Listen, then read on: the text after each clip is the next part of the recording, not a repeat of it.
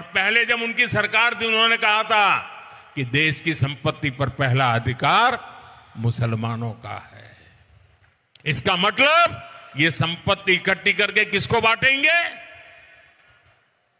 जिनके ज़्यादा बच्चे हैं, उनको बांटेंगे। घुसपैठियों को बांटेंगे। क्या आपकी मेहनत की कमाई का पैसा घुसपैठियों को दिया जाएगा? आपको मंजूर है ये?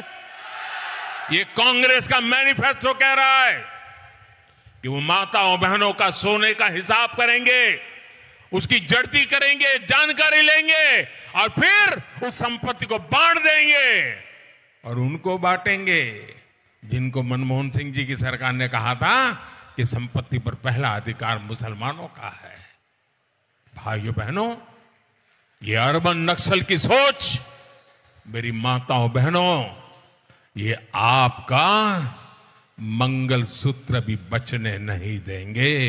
यहाँ तक जाएँगे, मैं कहने आया we will have to devise innovative plan to ensure that minorities particularly the Muslim minority are empowered to share equitably in the fruit of development there must they must have the first claim on our resources.